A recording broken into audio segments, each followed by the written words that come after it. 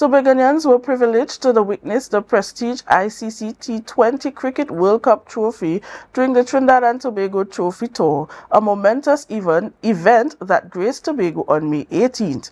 The trophy's arrival was marked with a grand celebration showcasing the vibrant culture of Tobago through performances by a speech band and traditional mas characters, a testament to the island's rich heritage.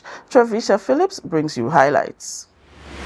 The ICC T20 Cricket World Cup Trophy Tour continues to inspire and unite cricket enthusiasts, fostering a deeper appreciation and love of cricket across the Caribbean. Speaking at the occasion, Chief Secretary Farley Augustine emphasized the significance of hosting the T20 Cricket World Cup in the West Indies and the United States.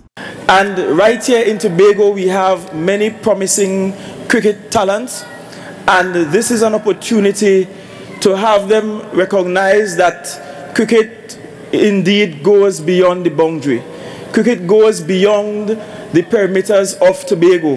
And they can, in fact, have cricket as a career and be able to master it sufficiently that they can play cricket all over the world. Chandra Hari expressed the excitement shared by many fans in Trinidad and Tobago. As the trophy travels across the islands, it not only brings fans together, but also feeds their passion for the sport, heightening their anticipation for upcoming matches and strengthening the community ties with the game. The event was graced by several other notable figures in the THA, including Joel Sampson and Wayne Clark, Secretary and Assistant Secretary of Community Development, Youth Development and Sport respectively. Also present were Philip Robinson, CEO of the Tobago Tourism Agency, and Kerwin John, President of the Tobago Cricket Association. Trevecia Phillips, Tobago Updates Television News.